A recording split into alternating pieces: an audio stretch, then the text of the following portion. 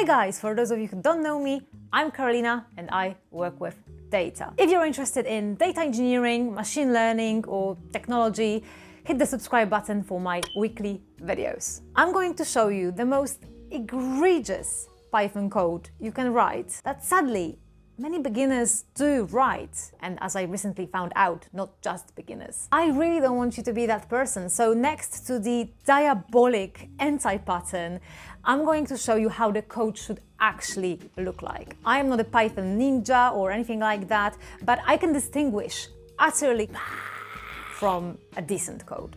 So yeah, let's do it. Okay, so this is the I'm laughing because it gave me so much pleasure to write it. It's a very simple program. It just prints what items I've got. And as you can see, it works. So we can move on, right? No. So what's wrong with it? Well, everything is wrong with it, but I can see main six things that I'm going to fix on the screen so that you don't make those mistakes ever again. Number one, I really need to start with this one. No one's gonna be friends with you if you write your code like this. Writing try and except pass block. Okay, let me explain why this is the single most awful thing you can write in Python. I recently experienced this on my own skin, but then I found out that I'm not the only one. People write articles about how awful this thing is. So basically, Let's have a look at this example. We're saying try doing everything that is inside this block. So the program tries to print welcome to my program statement. And then there is a new variable, my name, Carolina, with a C. But my name is Karolina with a K.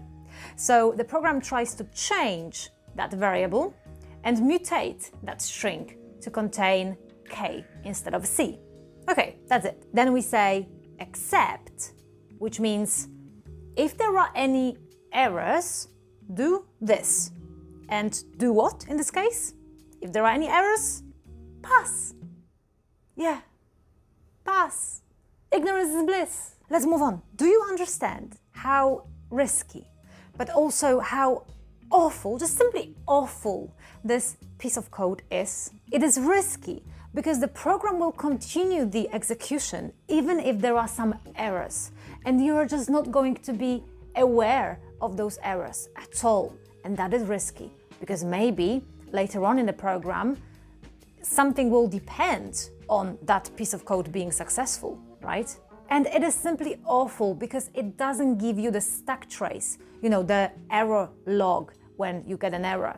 So you're not going to be aware of what went wrong. So debugging this is just going to be a nightmare. You're going to spend days, days trying to find that one error. I mean, imagine having a huge piece of code, like 1,000 lines of code, written by someone else a year ago. I mean, good luck trying to find what is throwing the error if you don't have a stack trace. Okay, so let's get rid of this tragedy right now. And let's run the program. And as you can see, there was an error, which leads me to mistake number two, trying to mutate a string. By mutate, I mean alter or change. So in this example, I'm trying to mutate the variable my name, but I can't. So if you want to change something in a string, you must create a new string, a new variable, and assign whatever you want to that. You cannot mutate the existing string. So in this case, we can simply use the function um, replace, which is going to replace uh, the letter C with the letter K, because I'm Karolina with a K. Mistake number three, I'm going to specify this as number three because I can't look at this code anymore, using the camel case. If you don't know what camel case is, it basically means joining the words together and then capitalizing the second word and the third word and so on and so on, versus snake case, which is joining the words with an underscore. And I know what some of you might be thinking. Python allows the use of both types of cases, so I can pick my favorite one, right? Some of you might know this already, but there exists something like PEP 8 standards, which are Python style guide standards. They define how your code should look like and they are the standard across you know, the academia, all the businesses, you just should write your code in this way.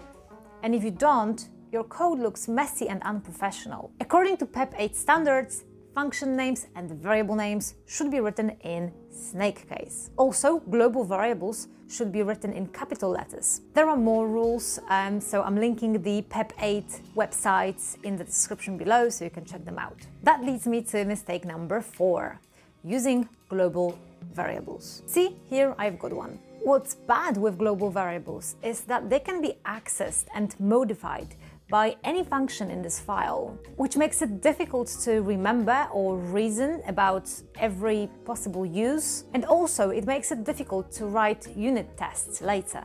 If you can avoid using global variables, you should. So here, clearly, we can avoid using the myAge variable, so let's move it to main and move on. Mistake number five, unpythonic looping. If you studied Java or C++ or C Sharp before, you might be used to writing for loops like this. Defining an index and initiating it to zero, then finding the length of your array, and then looping, and then at the end incrementing the index. In Python, we don't do this. I mean, look, we can, it works, but it shouldn't be written in this way because it's unpythonic. And the reason why it is unpythonic is because Python has a better way of doing it, which automatically handles both index and finding the length of the array, which makes it less error prone and just easier to use. So let's rewrite this in the Pythonic way.